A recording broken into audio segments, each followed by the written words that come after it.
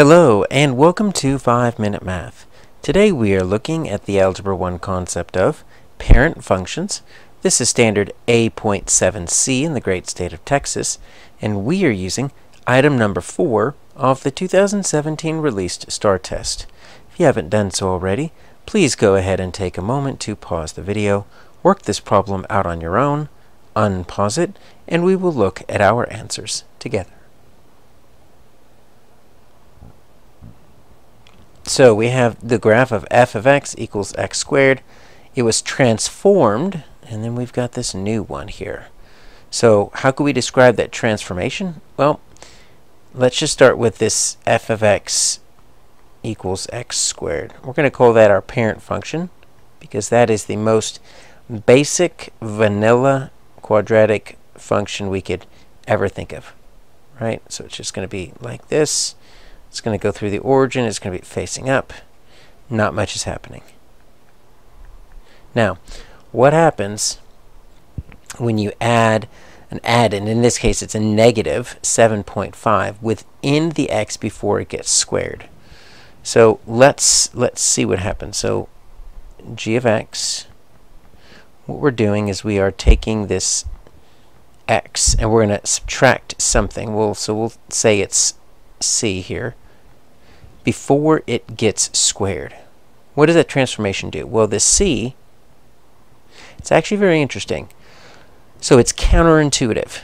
If the c is less than 0, so in this case it is less than 0 because it's going to be negative, right?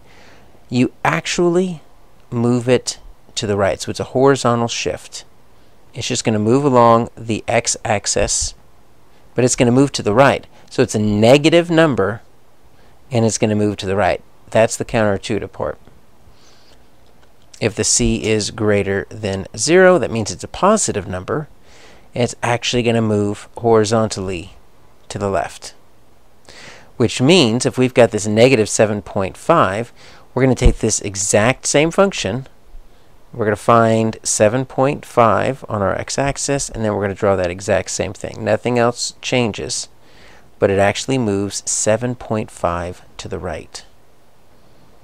So if that's the case, what are these other two options looking at? Because both f and g deal with a horizontal shift either to the right or to the left 7.5.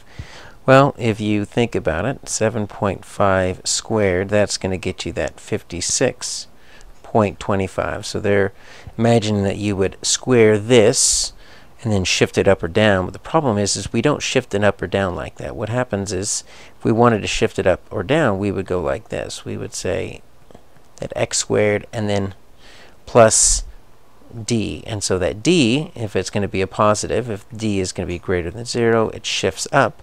If d is less than 0, it shifts down.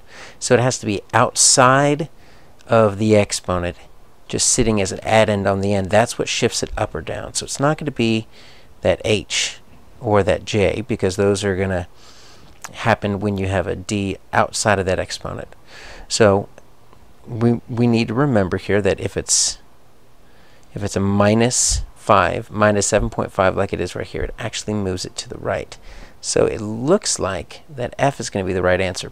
But let's go ahead and open up our graphing calculator, double check just to make sure.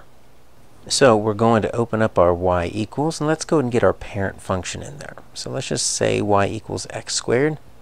Take a look at that, and there's your vanilla graph right there.